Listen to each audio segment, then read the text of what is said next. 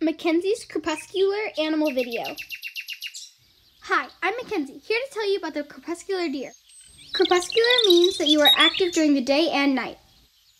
The basic social unit is a female and her fawn, although they are not observed to be grazing together. The white-tailed deer is mainly known for feeding um, mainly before dawn and several hour, uh, and several hours later it feeds again. Thanks for watching, and be sure to check out my nocturnal and diurnal videos. Filmed by Desiree Aker and Emma Shane. Reported and edited by Mackenzie Shane. Green screen image of deer by at eye for green screen. Green screen image of butterfly by Green Screen Barsil. Editing apps by Do Ink and iMovie. Sound and music by iMovie and Escape to Nature.